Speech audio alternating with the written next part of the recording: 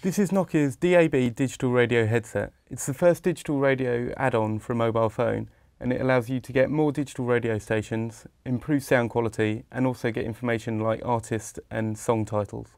It's only compatible with some of Nokia's latest smartphones that feature USB on the go, such as the Nokia C6, C7 and N8. And you also have to install an app from the Ovi store to run the headset.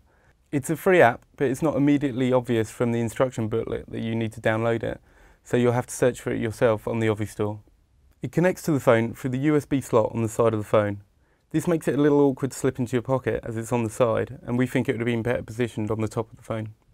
You can open the app through the Applications menu on the phone or also using the DAB button on the top of the remote.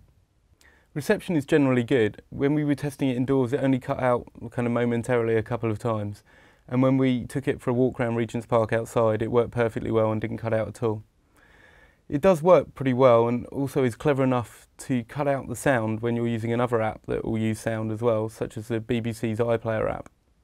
It's simple to use. There's clear options on screen on the handset itself and there's also clearly defined and responsive buttons on the remote there's buttons for changing station and tracks if you're playing music through the headset.